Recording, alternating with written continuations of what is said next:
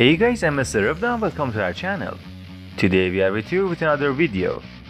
In this video, we are gonna watch latest news of Hande Erçel in trip with Kaan. It was some days ago that the reporters said that Hande and Kaan are together.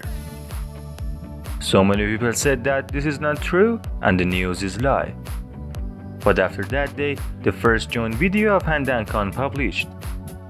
They were together and the news were true. They went out and spending great moments. Now after two days from that video, we are watching that they are spending their holiday in an expensive hotel.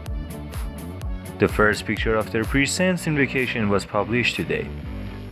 They were in a beach and experiencing romantic time.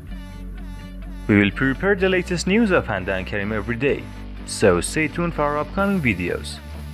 I wish you all the best and now up to another video. Peace out.